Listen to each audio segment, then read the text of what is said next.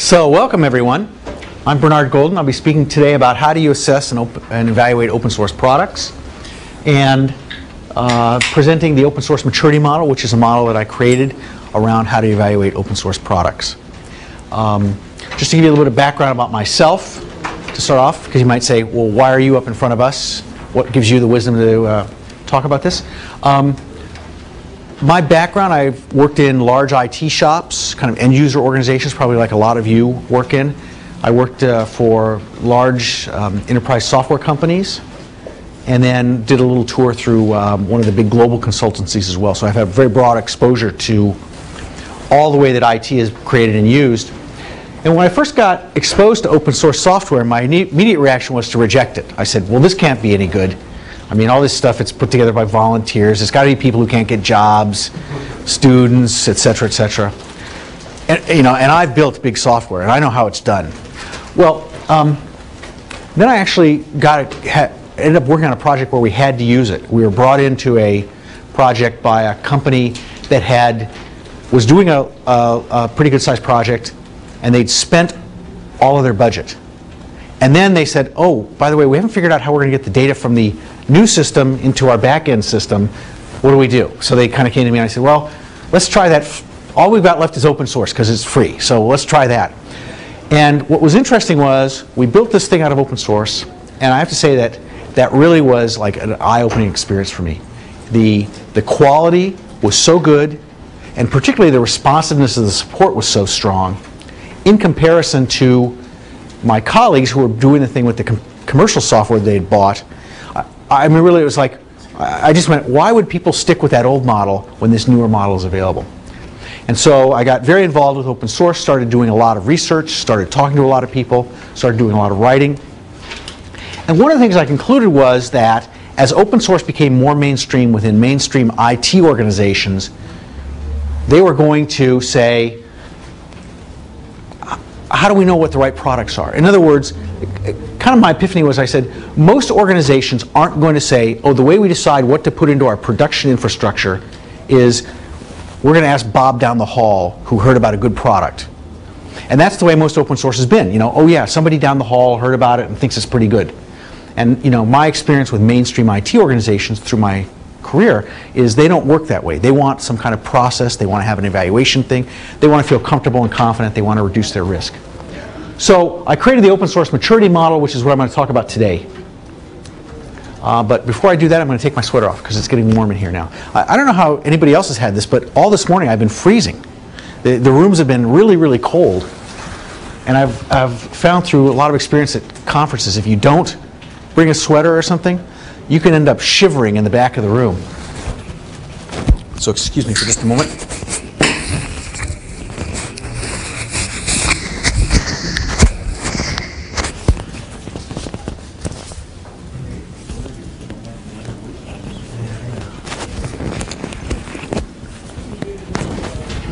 So let me begin by asking from the audience. By the way, during the course of the presentation, you have a question, put your hand up. I mean, really, really, I think interactive stuff is a lot better than, you know, kind of a droning lecture and then, oh, we have time for questions.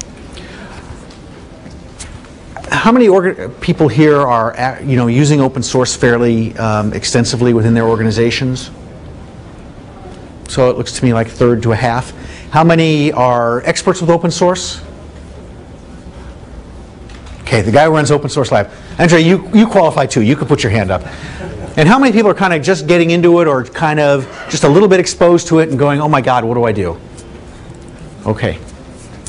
Well, to begin with, we're going to start around open source with the fount of all of all wisdom, technically speaking.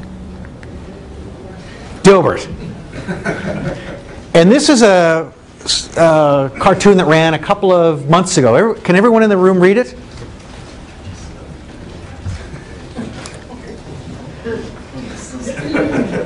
So the funny thing is, is part of my where I started my career, I was working for the Pacific Bell, the local telephone company.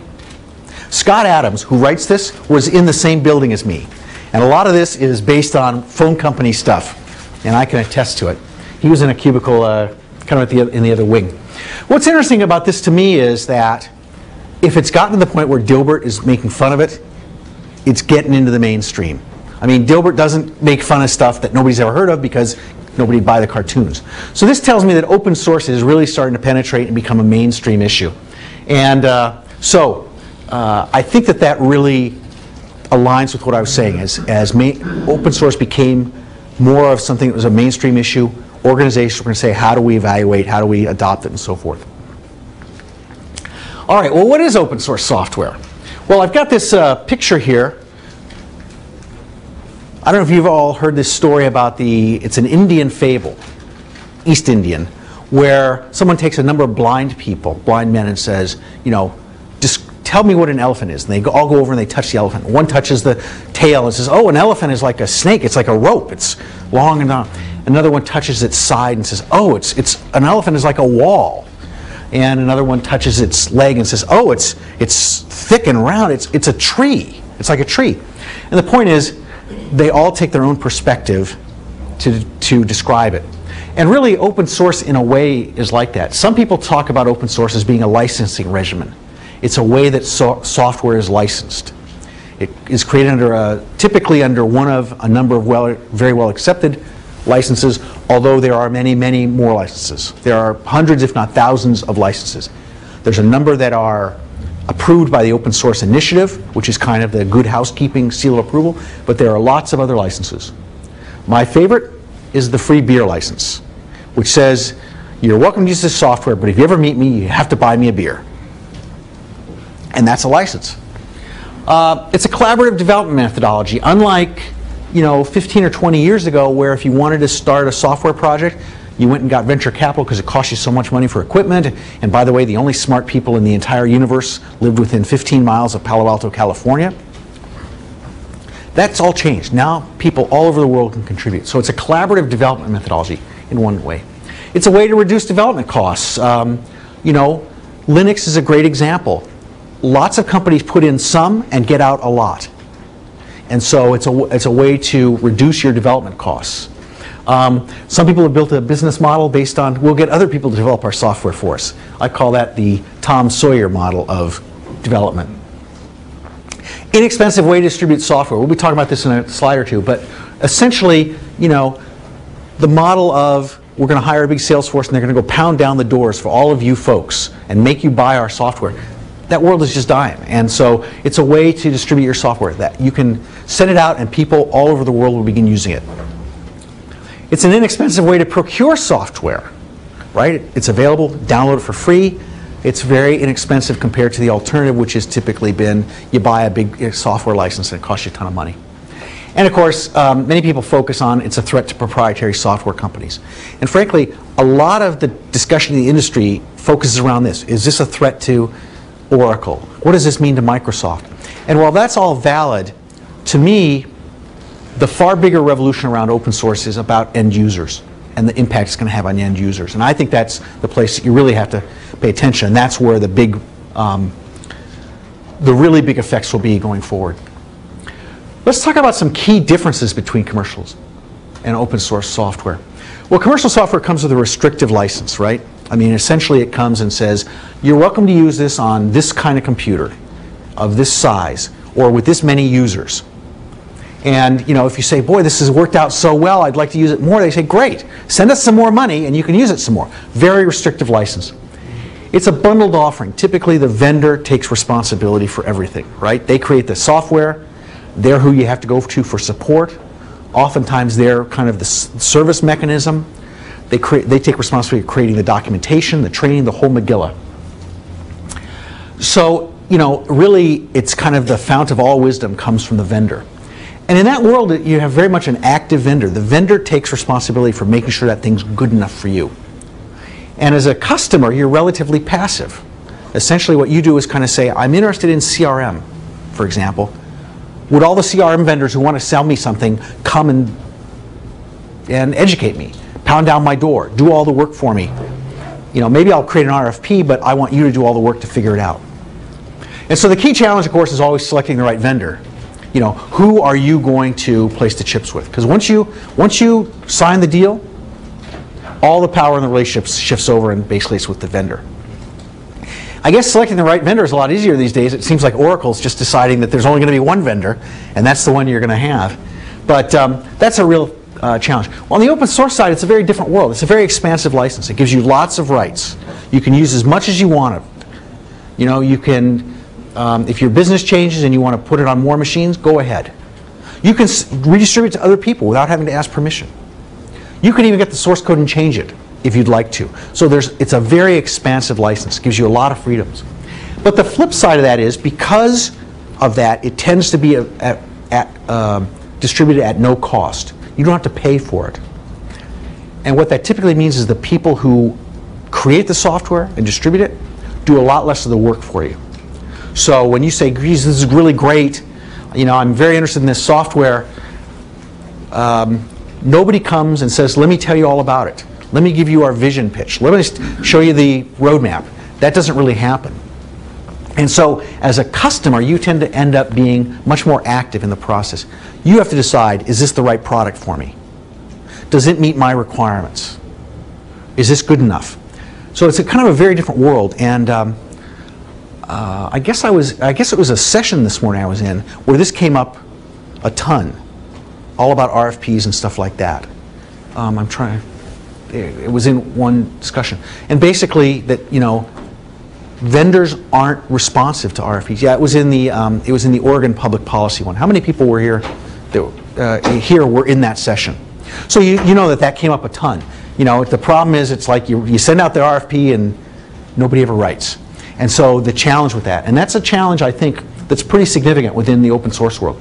Essentially, open source providers, open source vendors kind of say, hey, we make it easy for you. I'll let you use it and figure out if it's right for you. You know, you don't have to depend on me. You don't have to depend on a, um, a software salesperson who's going to come out and, you know, try and convince you and all that. You can do it yourself. And, and they think of that as being a real benefit, and it is, but it also means you have to be more responsible. So the key challenge is always, how do you find the mature product? Um, in a sense, this is adapted from Geoffrey Moore's Crossing the Chasm. How many people here have not heard of Geoffrey Moore's Crossing the Chasm? Okay, well, um, essentially, Geoffrey Moore is a, uh, he's a consultant to high-tech companies, and he posited that early stage customers are very willing to live with kind of ragged products because they typically use them to get um, competitive advantage. And so for them, they don't want a product like everybody else gets because then there's no competitive advantage through using it. They, they're willing to live with something much less fit, formed because they bring in their expertise and that enables them to be better off and compete better. He, his point was that when you get into mainstream organizations, they don't want these unfinished kind of ragged products. They want a complete product. They want something that has services available, that's easy to use, that can get their people trained. He calls it the whole product. I call it the mature product. But in essence, it means a, a, a full bundle of stuff. So all the things that you know mainstream organizations want with a product to make it easy to use or consume. Within the open source world, that's a real challenge because there's no vendor kind of signing up and taking the responsibility for that, typically. And so as an end user organization, you have to say, how do I draw together those resources? How can I figure out what the right mature product is? And um, I think that uh, in the same in that same uh, Oregon public policy session, Ben Berry said, you know, there's like 140,000 products. How do you choose the right ones? So looking on that, it was clear that there was a clear need for an open source evaluation methodology. How do you figure out which products are mature enough for you? And I want to be sure that I respect our time. What, what time is this session supposed to be concluded? Four. Okay, good. All right, so let's talk about you know why companies are turning to open source. Um, from the vendor perspective, I talked a little bit about this. You know, the old enterprise business model is kind of just exhausted. You, they can't, let me just say, they blame you, the end user. You're just not buying the way you used to, and they don't like it. And it's just kind of exhausting. You can't hire enough expensive salespeople to get people to buy the stuff anymore. So that's kind of the old model's broken. They like it because it gets them to market a lot faster. If they incorporate open source components into their products, they can get their product out faster, which helps them um, reduces their cost. They're not paying licensing fees to third-party software providers that they have to then bundle into their product. It enables them to focus on what they really do well. They don't have to write everything, so they don't have to put effort into creating things that you know, are a lot of work to make but don't really give them much advantage. I mean, just to give you an example, most companies love the fact they can take the Apache web server and just put that into their product because they don't they're not that good at writing one. They don't really want to write one. And frankly nobody is going to give you extra money as a vendor because you've got a web server. So they just use the apache web server. So it helps them focus on their core competency. And it reduces their distribution and adoption uh, costs across time and geographical constraints. You can put an open source product out there and have people downloading it and using it in countries that you wouldn't be able to get to as a business for six months, 12 months, two years. For example, Sugar CRM, which is an open source CRM product, put their product out, and something like within a week they had eight or 10 different languages already translated. As a company, to get that kind of translation coverage, you'd have to invest a lot of money, form relationships with translators, a lot of work. That meant that people could start using um, Sugar CRM in countries like Germany and Romania and all kinds of places that Sugar CRM didn't have to, um, would never have been able to reach to. So that's a real advantage from the vendor perspective. From the end user perspective, cost. And uh, interestingly, I think in, in Andrea's uh, presentation, what he said was that that's probably the number one driver for commercial organizations, maybe not so much for governmental. But I will say that, uh, you know, in my experience, cost is a huge driver for adopting open source.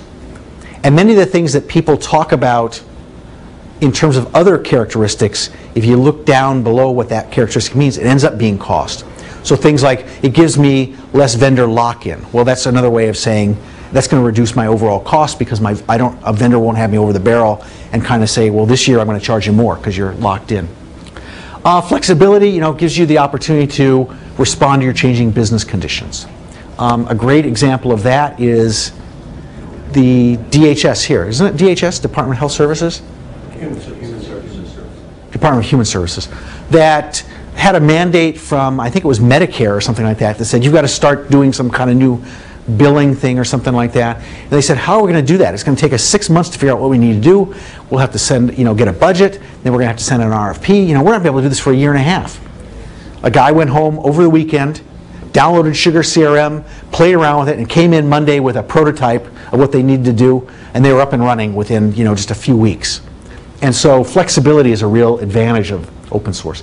Time to market, maybe not as big a concern for governmental agencies, but certainly commercial companies, you know, get some kind of a, you know, um, we need to roll a new product out or we need to offer a new service or something like that.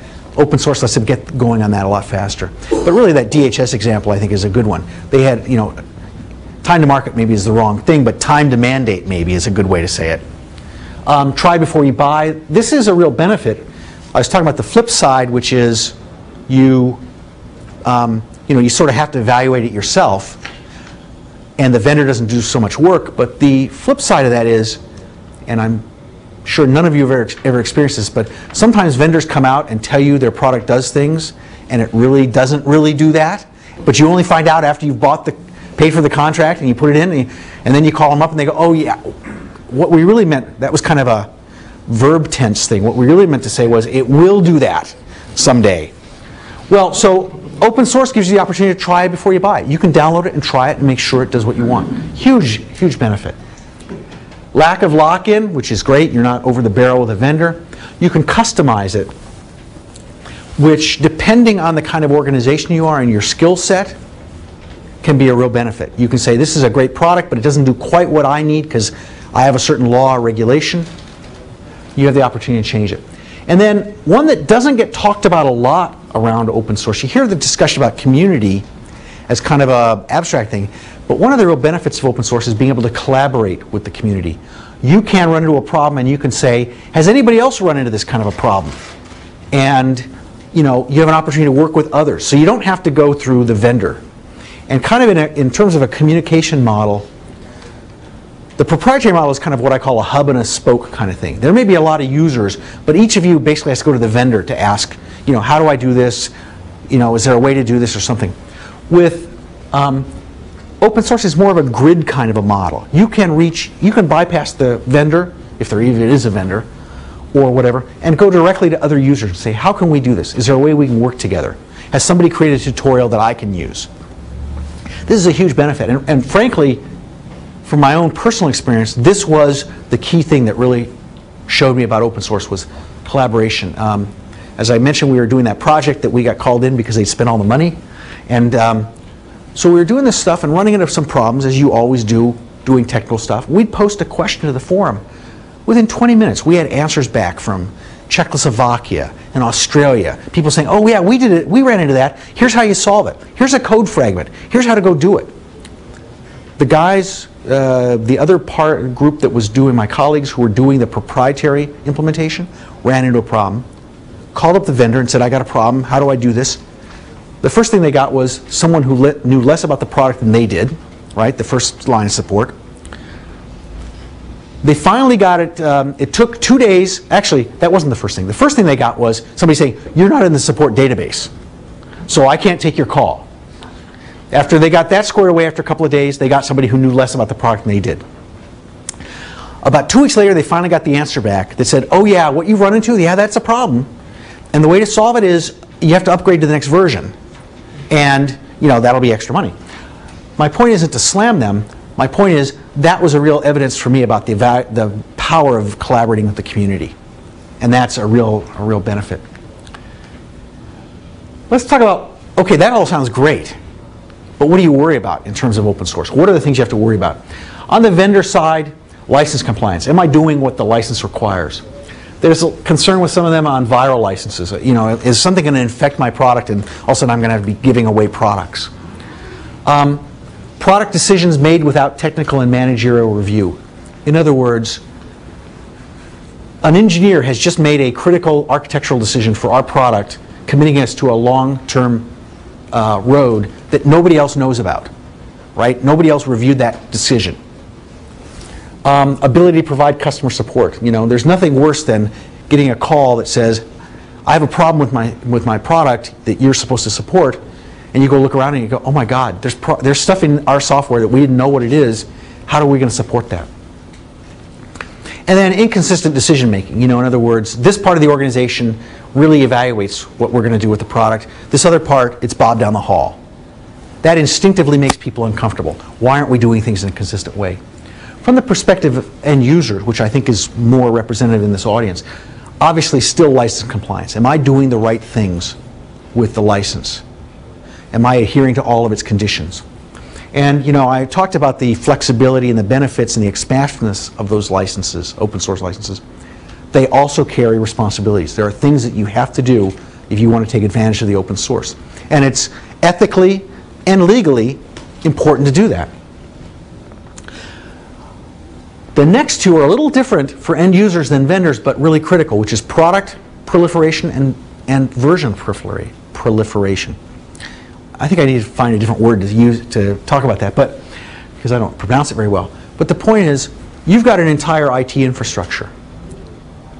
If people are just saying, I'm going to download this product and put it into this project, you can end up with three different web servers, or four different content management systems, or a couple of different databases. And the thing that that does is, that has the impact of raising your operational costs, because you have to have a skill set sufficient to cover all those products. And you've got to be able to be responsive to, to support those things. And so without a way to evaluate and select products, you know, you can run into problems with you've got too much of a richness of open source. IT decisions made without technical managerial, same kind of thing, right? Somebody decided to put this product into our infrastructure and nobody else knew about it. That's obviously not good. And then inconsistent decision making. I will say that within this audience, a government audience, there's something else on top of this, a risk factor that you know is, is present, which is you have the, um, if I can say it, the opportunity to always have the political process intrude into your stuff. And you know, I think that the, the whole uh, situation in Massachusetts is very instructive. They went through a very formal evaluation process. They established criteria. Everything was great until they announced the decision, and then all of a sudden they had, you know, kind of state senators saying, well, wait a second, you know, and kind of poking in there. And so um, I think particularly for governmental agencies, it's important to have an, uh, an established process that's verifiable, that's impartial, that you can point to and say, hey, we didn't just pull this out of the air. In terms of open source risk, what I always talk about with organizations is you have a couple of different dimensions to think about. One is legal and regulatory exposure. So, in other words, licenses. And there's other aspects of that as well, regulatory things like, you know, healthcare records. You know, are you treating this the software? Can you have an audit trail of what you've installed, what versions you've got? All those kinds of things. So those aren't just legal in the sense of licenses, the open source licenses and compliance, but a whole range of regulatory and legal kinds of implications that have impact on your um, legal and regulatory side. But then you have also operational dependency. And I was talking about that in terms of things like version pr- proliferation or product proliferation. But if you think about it, as your open source usage goes into more and more important systems, production type systems, your operational exposure becomes higher. Because if a, if a system that you use once in a while to, you know, make a presentation crashes, okay, great, you know, um, we'll wait till tomorrow and maybe it'll reboot. But, you know, if you've got a system that basically is doing something that you have to do once a month, once a month reporting to the federal government, or, you know, God forbid, once a month checks out to um, someone, and that crashes, you don't have the kind of, well, we'll just wait till tomorrow and hope it works, right? So you have much more operational exposure. And so, depending on your legal and regulatory exposure and your operational dependency, you know, your open source risk profile is higher or lower. And obviously, the higher it is, the more thorough more careful you have to be.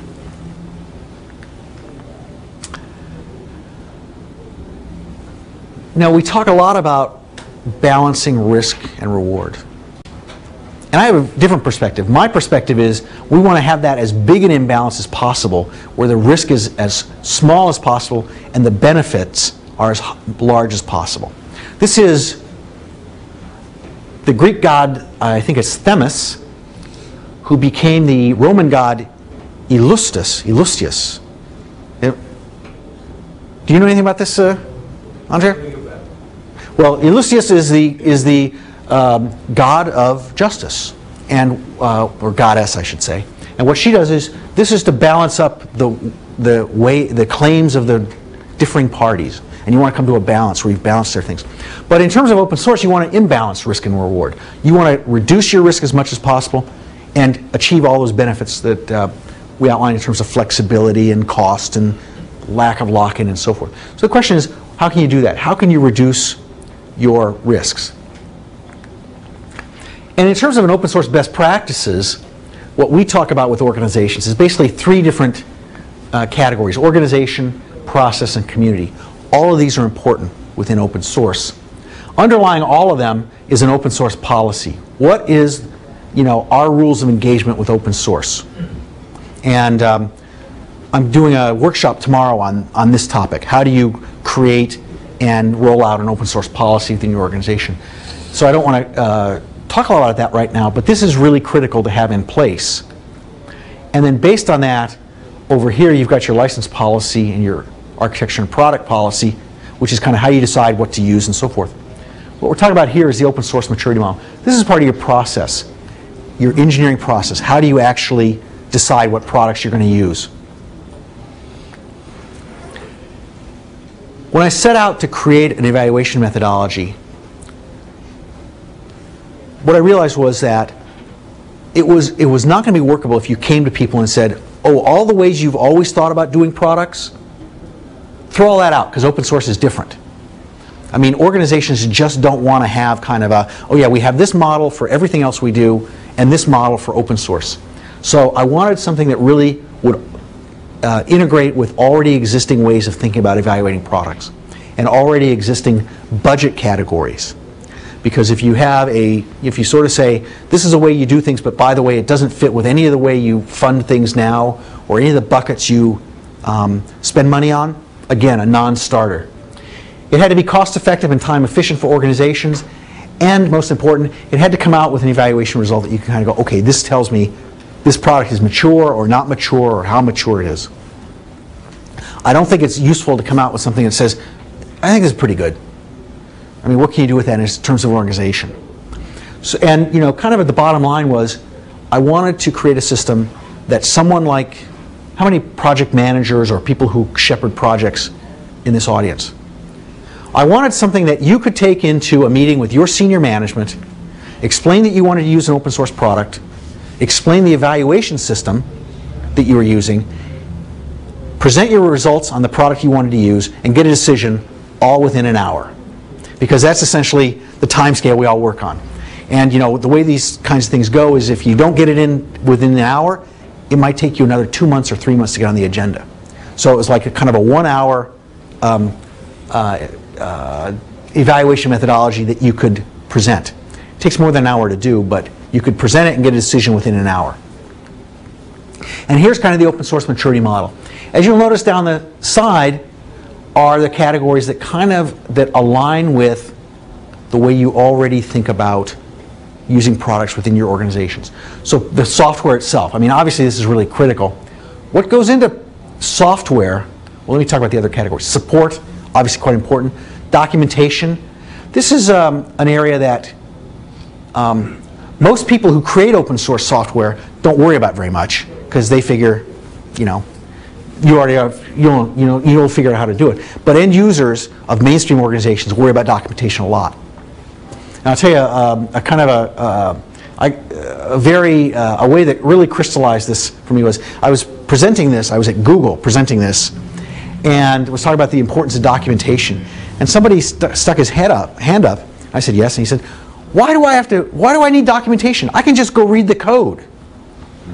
I said, thank you, Mr. Early Adopter. Google hires people who can go read the code and have enough time and all that. Most organizations, people are time compressed. They don't maybe bring expertise around that. They just want to be able to look it up and get an answer, right? So documentation is really key. Training, another important thing. Product integrations. How well can I get this to work with the rest of my existing software stack? No product ever goes in and says it stands alone, it works alone, it never has to share data, it just is a one stand by itself system. So product integrations are really important. And then services. Um, depending on the organization, services can be, depending on the end user organization, services can be very important or very unimportant. But it's, it's important to evaluate this availability of services for a given product for two reasons. One, you might want to be using it, those services. You might want to say, we need to bring in some outside help.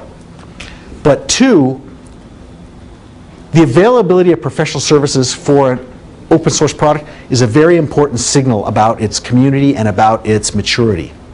Because typically you don't start to see service organizations springing up around products until there's a pretty significant community and usage base.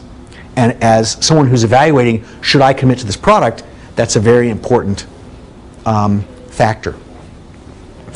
In terms of the product software, what are the things that go in there? Well, obviously, functionality. And that's a really key thing. And I'll come back to that in just a second. But beyond that, you have um, quality. What is the quality of the software? What is the longevity of the software? How long has it been around? That's another key thing. And then finally, what's the quality of the development team, the development organization? And how well is that in place? Because those are all key things for, from the perspective of using an open source product. In terms of functionality, the model puts a lot of emphasis on that because at the end of the day, you're evaluating this product not in the abstract, you're evaluating it, how well will it solve my problem? I need software to come in and do something. Here are my requirements. And so I think it's really important for the product to be evaluated in light of the requirements. Because otherwise, you know, what good does it know, do you to know, oh, this is a, this is a mature product? if it's not what you need, right? I mean, uh, yes? So does the security play a part in the maturity model? Security does. It's part of evaluating the functionality. I consider security part and parcel of the product and its functionality. Um, I know some people sort of say, say, well, security is a separate thing that I have to evaluate. I've always felt if it's separate from the rest of the product, there's something wrong with, with that be, you know, it ought to be baked in. It ought to be part of it. And it's also part of the quality.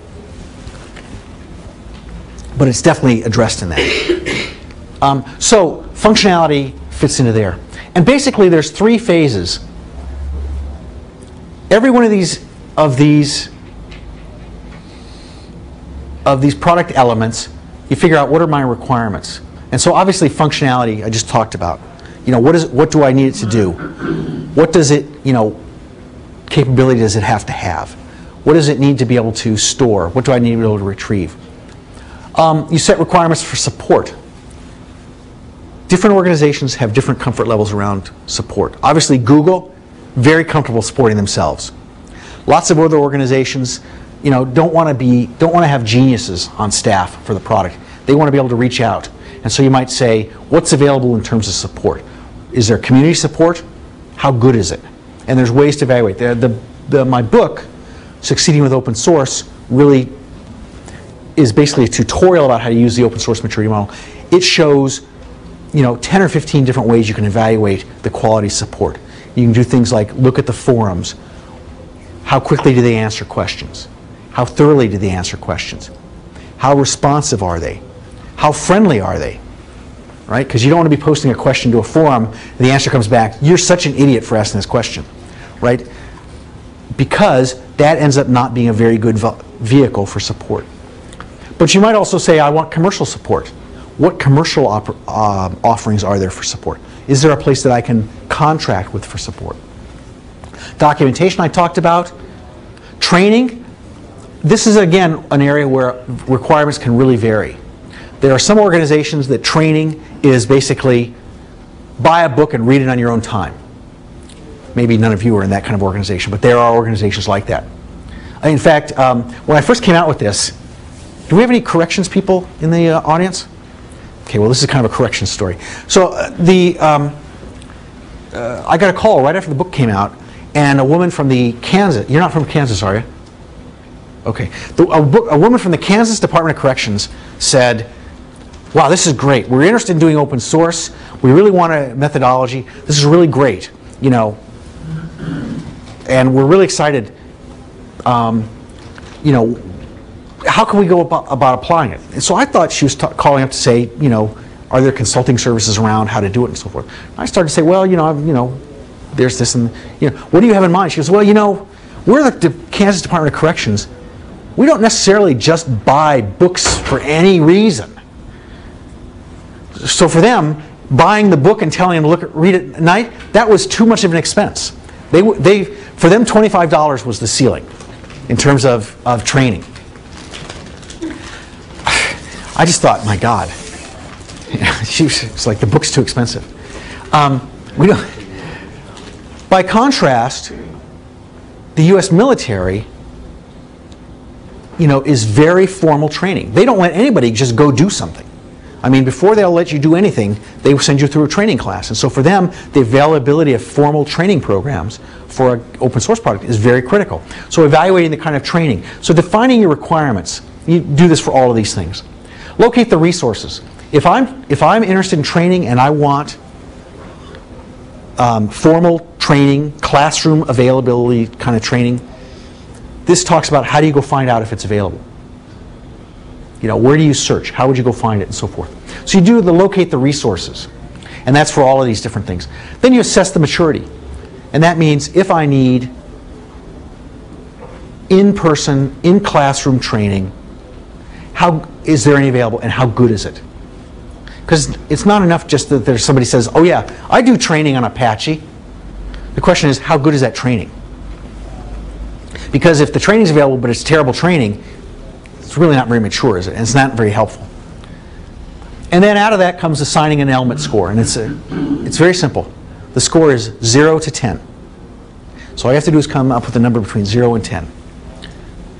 The second phase is assigning a weighting factor. If you think about this, some of these are more important than others, right? For example, support is probably more important than training. Because if the product is supported terribly, you're going to reject it. So training's how important is training, right? Or if the product doesn't do what you need it to do, the fact that it's well integrated with other products is irrelevant. And so there's a weighting factor, and I'll be showing a slide with the default weighting factors. And then you calculate the product maturity score, and essentially that's taking the element score 0 to 10, multiplying it by the weighting factor, and coming up with a number. And guess what? All the weighting factors add up to 10. So the multiple, the total possible score is 10. The weighting factors add up to 10.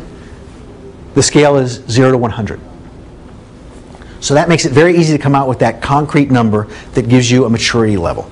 The maturity level is 63 or 75 or 52 or whatever it is. And remember, the whole goal of this is to come up with something that's verifiable, that can be described, can be, um, and got uh, a decision all within the course of an hour. And there's nothing like that than to say, we did the evaluation and it's got a maturity score of 73. So here's the default element weightings. So this is basic, this is the software, this is the support, and these. So it all adds up to 10. Depending on your organization, you may modify these. So these are default, suggested, but you are more than welcome to change those according to your desires. And so, for example, some organizations, professional services might be more important. You know, um, organizations that outsource a lot of their IT, obviously the fact that somebody else out there can deal with the product is very important. And so professional services would be bumped up to maybe a three. All you have to do is make sure that the weighting factors sum to 10.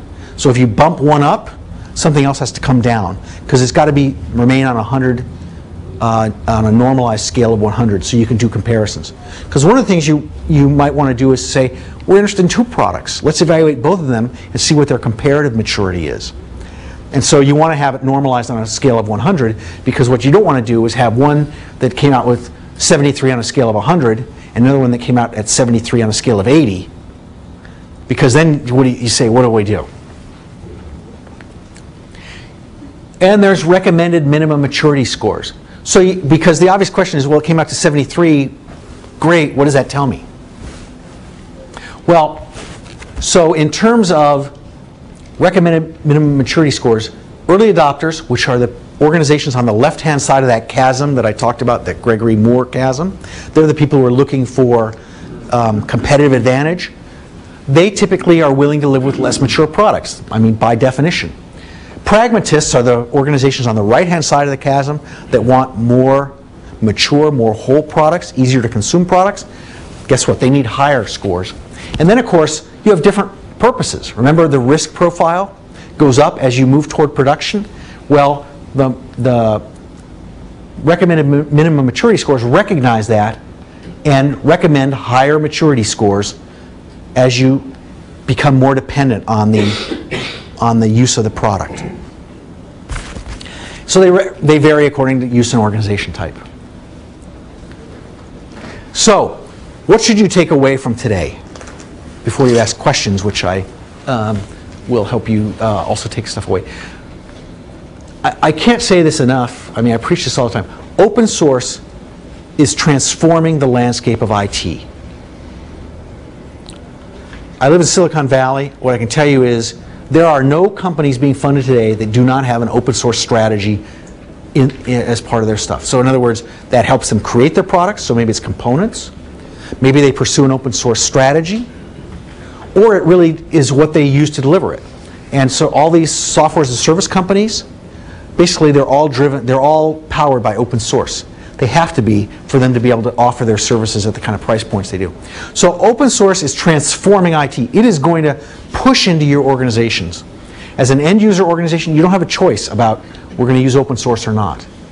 I still occasionally run into, well, actually not even that occasionally. I still run into organizations that go, we don't use open source, or we're not going to use open source. That, you know, that is, a, that is an attitude that it will overwhelm you. It will push in because the economics are just so compelling.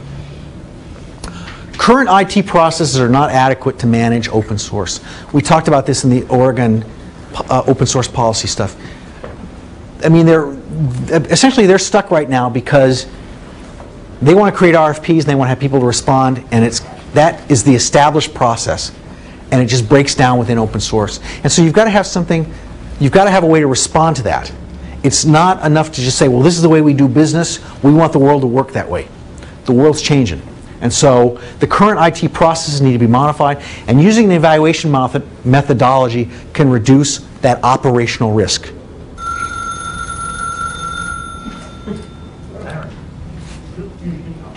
Somebody wants an answer on something.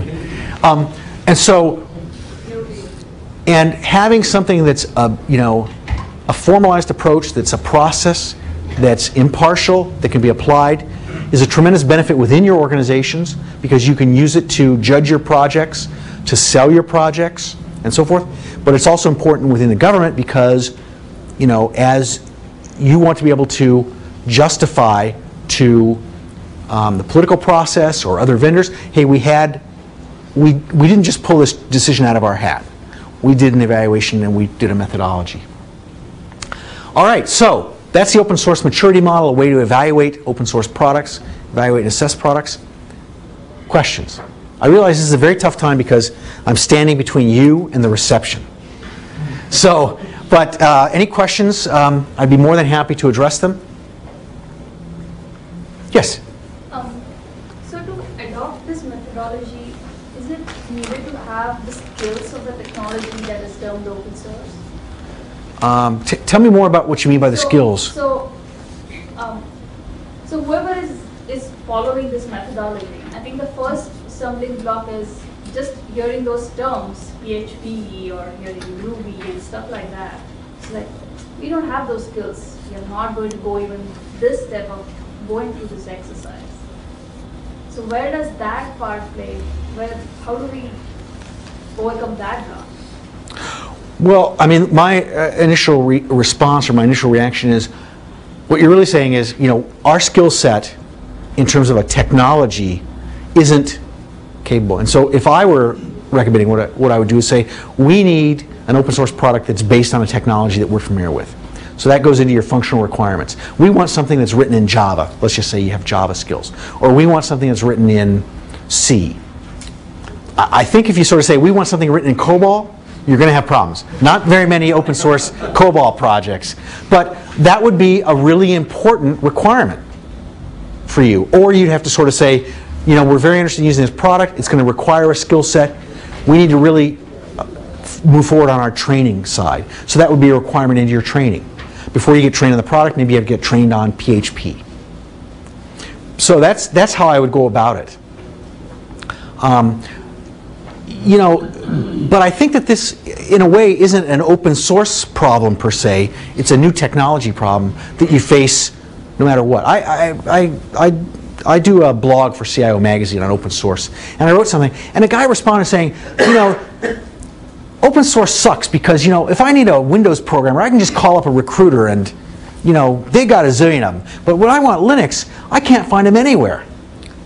Well, um, as in one of my previous jobs, I, I worked for a database company. I worked for Informix Software. I don't know if anybody's familiar with Informix, but my group put Informix software on Windows NT, the first release of the Windows Server product.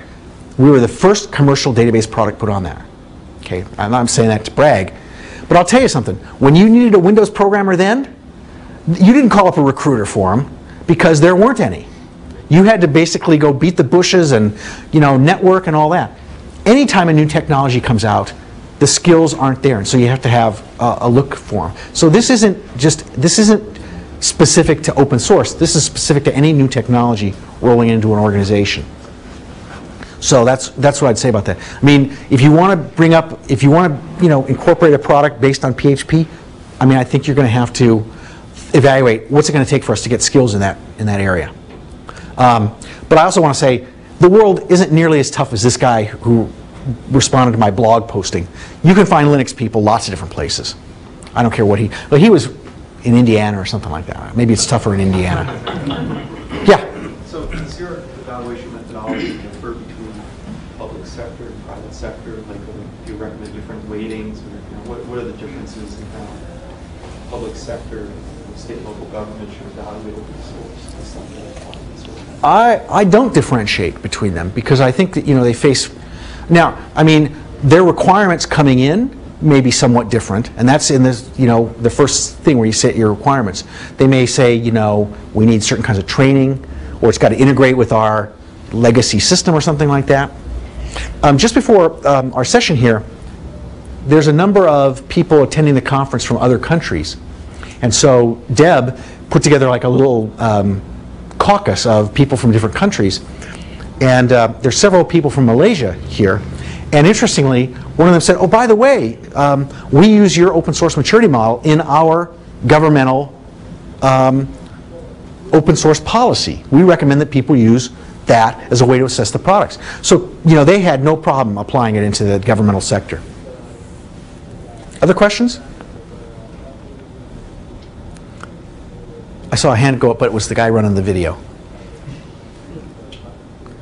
All right, well, I can tell that I'm standing between you and the drinks, and, which is an uncomfortable position to be in. So thanks very much. If you have other questions, I'll be happy. I'll be here for a few minutes, and certainly I'll be at the uh, event as well. Thanks.